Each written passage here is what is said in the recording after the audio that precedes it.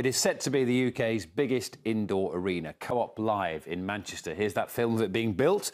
But the grand opening of the much talked about venue has been littered with technical problems and delays, and things have gone from bad to worse. The resignation of the general manager and the rescheduling of gigs for stars like the US singer Olivia Rodrigo and the comedian Peter Kay at the last minute. Well, Peter Kay isn't performing there tonight, but our Peter, Lane, has the latest from the currently closed arena. Things are moving slowly at the Co-op Live Arena. Topping the bill here today, the builders still working on the place. Much activity outside, but nothing happening on stage. Last night, fans of US rapper A Boogie with the Hoodie were turned away just minutes before Curtain Up after part of the air conditioning came loose. No one was injured, but it meant no show. It's cancelled!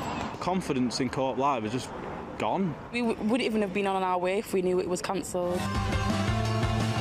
The UK's newest and biggest indoor venue costs £365 million and can hold 23,500 fans. It even had celebrity help with the design. Hi everyone, I'm Harry. I'm incredibly proud to be a part of Co-op Live. But the arena's original boss has already resigned and the delays and false starts continue to mount up.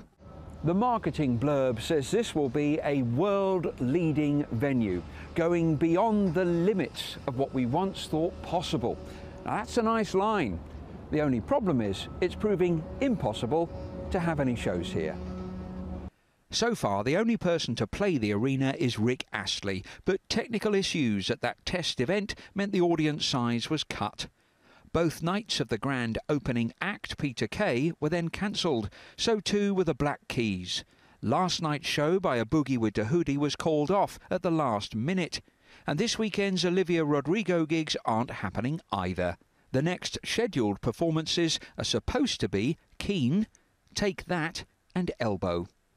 Checking out the arena today, Alan, who's got tickets for the Eagles here later this month. Safe to say, he's already nervous. It's squeaky bum time. So squeaky bum time? It is indeed, yeah. So, so you've got these tickets? We've got these tickets for which were, were not cheap. I am nervous. Very nervous. You're sitting tight and just keep your fingers yeah, crossed. Yeah, I, I mean, it's another 30 days, so you know, hopefully there's a few people due to appear here before the Eagles arrive, so hopefully they'll have got it sorted by then. One public relations expert says the current strategy is all wrong and the whole launch should have been delayed.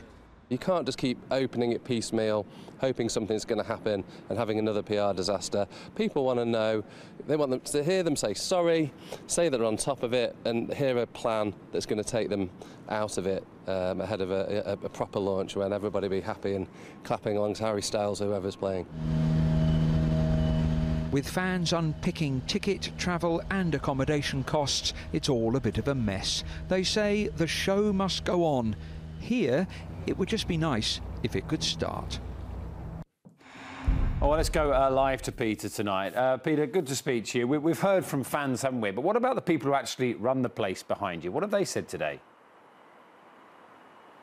Yeah, hi, Dan. Well, it may have co-op written on it in pretty big letters, but they, of course, are just the sponsor. They're not involved in the construction or operation of the thing, but they have said today that they're shocked by these cancellations. They're relieved no one has been injured. They're disappointed and frustrated and want a full explanation from the people who do run the place. Well, that's a group called the Oak View Group, and they've said they're deeply sorry for any inconvenience, that safety and security are their priority, and they've added that they won't run any events here until, as they put it, it's absolutely safe to do so.